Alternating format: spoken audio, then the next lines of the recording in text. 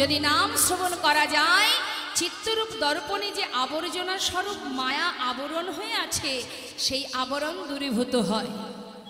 আমরা যে পরিচয়ে সবাই ঘুরে বেড়াই, এই পরিচয় তো শুধু আমার আমার আসল পরিচয় নয়, এই পরিচয় এই পার্থিব জগতে।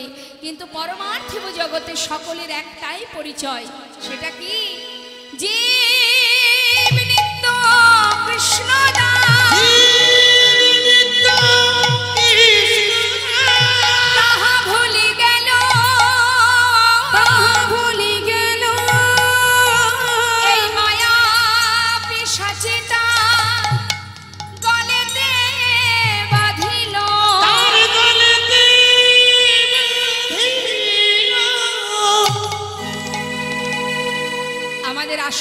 পরিচয় আমরা কৃষ্ণ চরণের দাস।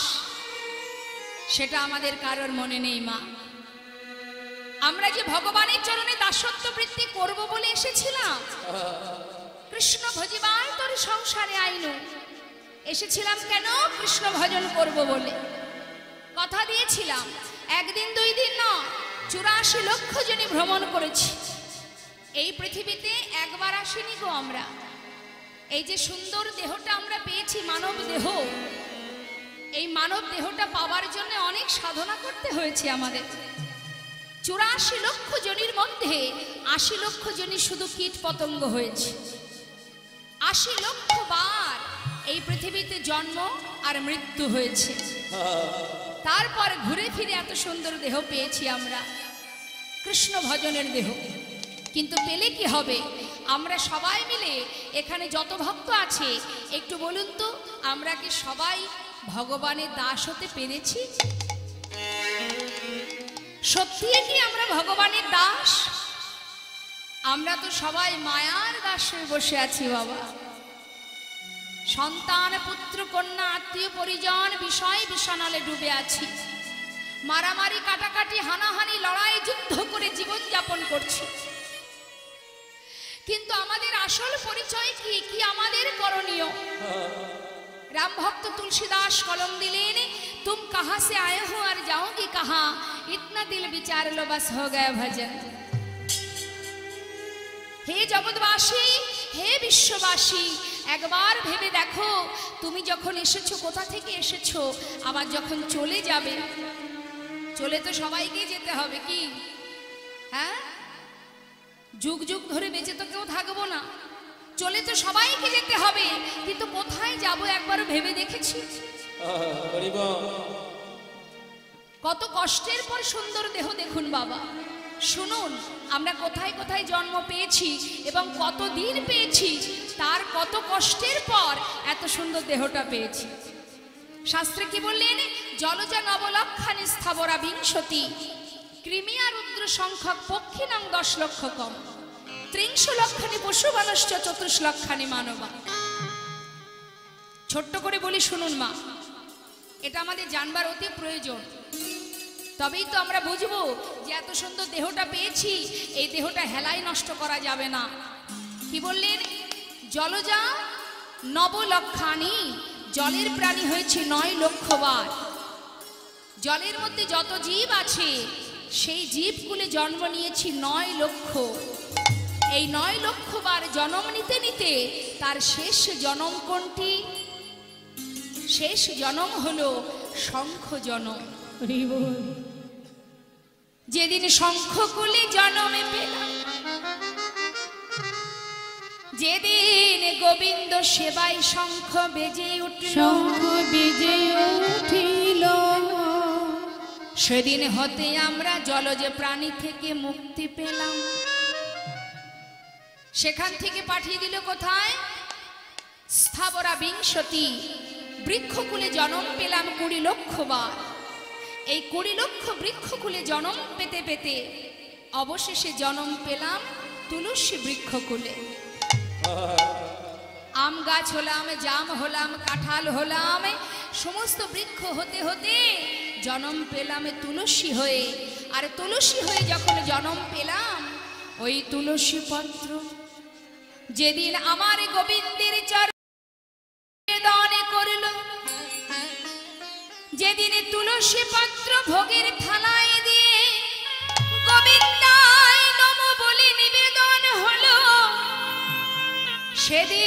আমরা বৃক্ষকুল থেকে মুক্তি পেলাম। তাহলে নয় লক্ষ জলজ প্রাণী কুড়ি লক্ষ স্থাবর অস্থাবর। তাহলে নয় কুড়ি কত হলো যোগ করবেন বাবা? এলাম কোথায়? পাঠিয়ে দিল কৃমি কীট কুলে। ক্রিমিয়া রুদ্র রক্ষক অর্থাৎ রুদ্র রক্ষক মানে এগারো লক্ষ বার। কৃমি কীট কুলে জন্ম পেলাম। সেই কৃমিকুটির শেষ জনম বজ্রকীট যেটা নারায়ণ শিলার মধ্যে থাকে। সেখান থেকে পাঠিয়ে দিল পক্ষীকুলে। বনের পাখিকুলে জনমে পেলাম দশ লক্ষ বার। সেই পাখিকুলের শেষ জনম হলো ময়ূর জনম। যেদিন ময়ূর পুচ্ছ আমার গোবিন্দের মস্তকে উঠিল সেদিন আমরা পক্ষীকুল থেকে উদ্ধার পেলাম। তাতেও হলো না মা, পাঠিয়ে দিল আবার পশুকুলে ভাবুন বাবা, একবার চিন্তা করতে হবে যে কত কুলে জন্ম পেয়ে তারপর এত সুন্দর মানব দেহ পেয়েছি। পশুকুলে গেলাম, তিরিশ লক্ষ বার জন্ম পেলাম।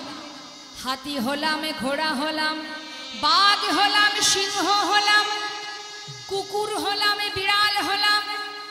অবশেষে আমাদের গাভী জন্মে পেলাম। গাভীকুলে জনম পাওয়া কিন্তু অল্প ভাগ্যের কথা নয়, মা। বাবা, গাভীকুলে যখন জনম পেলাম, ওই গাভীর দুগ্ধটাকে দহন করে। ক্ষীর স্বর নবনী তৈরি হলো। যেদিন কোন বৈষ্ণব সেই ক্ষীর স্বর নবনী আমার গোবিন্দর সেবায় নিবেদন করিল। সেদিন আমরা পশুকুল থেকে উদ্ধার হলাম। আর ভগবানকে বলেছিলাম, দয়াময়, কত কুলে তুমি আমাদের জন্ম দিয়েছ। তোমার চরণে জানিয়ে রাখি, আমাদের মানব কুলে জন্ম দাও। জন্ম পেলে তোমার সেবা দেওয়া যায়, তোমায় ডাকা যায়, তোমার নাম করা যায়। সেই মানব কুলে যদি তুমি জন্ম দাও দয়াময়। ভবে গিয়ে তোমার নাম ছাড়া আর কিছু করব না। ভগবান বললেন, বেশ, মানব কুলে জন্ম পাবি? বেশ চতুষ্লক্ষানি মানবা। মানব কুলে জন্ম দিল ঠিকই, কিন্তু তাতেও কিন্তু মা পরিপূর্ণ দেহ দিল না। কি করল বাবা? কখনো পাঠালো বধির করে, কখনো পাঠালো অন্ধ করে, কখনো খোড়া করে পাঠালো, কখনো বোবা করে পাঠালো। আর আমরা প্রভুর কাছে কেঁদে কেঁদে বললাম, দয়াময়, সেই যখন জন্ম দিলে, তবে অন্ধ করে কেন পাঠালে? দেখবেন যারা অন্ধ তারা মনে মনে কাঁদে আর বলে হে ভগবান যদি পুনরায় তুমি আমাদের জন্ম দাও দেখবার মতো নয়ন দিও যেন বদন নয়ন ভরে তোমায় দেখতে পাই যার হাত নেই সে বলে দয়াময় মানব কুলে জন্ম দিয়েছ কিন্তু কেন দুটি হাত দিলে না? সবাই তোমার চরণে পুষ্পাঞ্জলি প্রদান করে। নিজে হাতে তোমায় সেবা দেয়। আমি তো তোমায় দিতে পারি না।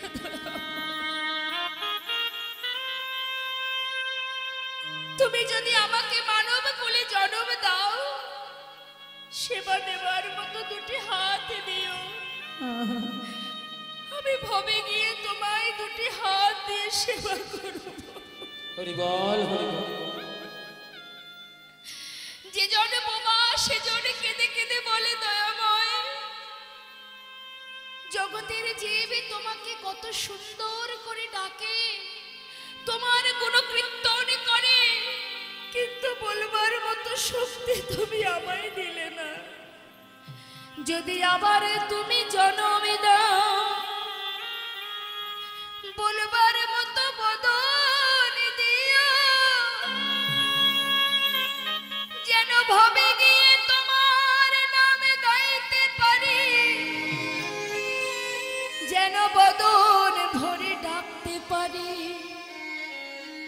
ভগবান বললেন, কাঁদিস না, তোদের জনম আমি দেব। করুণাময়, দয়াময়, দেখবার মতো নয়নে দিল, বলবার মতো বদনে দিল, সেবা দেবার মতো হাত দিল, ধরে রাখবার মতো হৃদয় দিল। ভগবানের সেবায় যাবার লাগি চরণে দিল। সবই তো দিল মা। কিন্তু আমরা বিনিময়ে তাকে কি দিলাম? কিছুই দিতে পারলাম না। শুধু ভাবে এলাম, একটা ভালো ঘর, একটা বাড়ি তৈরি করলাম, ভালো ভালো জায়গায় ঘুরলাম, একটু ভালো ভালো খেলাম, মনে করলাম আমি বিশাল বড় কাজ করেছি। কিন্তু এর মধ্যে তোমার কিছু কাজ আছে? যেগুলো ভুলে গেলে হবে না সময় চলে গেলে আর পাওয়া যাবে না। কি গো মা?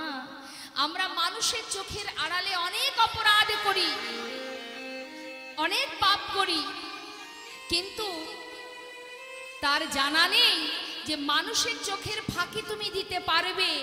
হৃদয় মাঝে যে একজন বসে আছে তার চোখের ফাঁকি তুমি দিতে পারবে।